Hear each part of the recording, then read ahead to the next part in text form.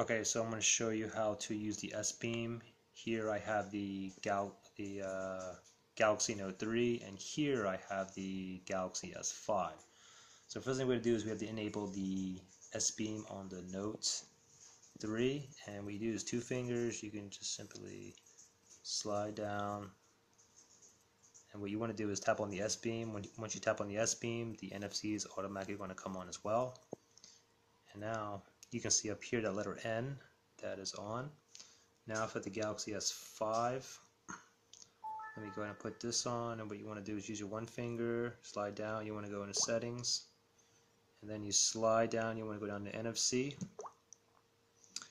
and you can see this off button here, you want to click it on and the same thing here, once I enable the S-Beam, the Android beam is going to come on automatically. The Android beam basically is the same thing as the NFC on the Note 3. So I'm going to enable this, and then you click on on.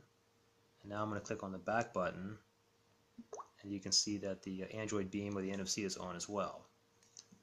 Okay, so let me go ahead and get a photo from the S3 and I'll transfer it to the S4. I'll just get this picture here of flowers and what you simply do is uh, the phone has to be on as well and I'll just like turn around and I'll tap it and you can see the download going on and now it's preparing and there you go. Now let's do something else. Let's do the same thing. Let me do the S5 and let's do like a video here. And I'll show you the size of this video here let's see settings um,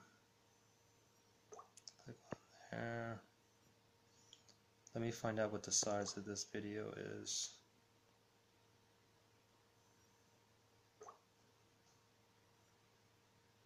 More info details.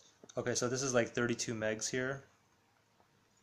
So now I'm going to go ahead and transfer this video onto the S3. So now this time, I gotta pop, I'll leave this one up here like this, and I'll flip this one over. I gotta now touch the beam.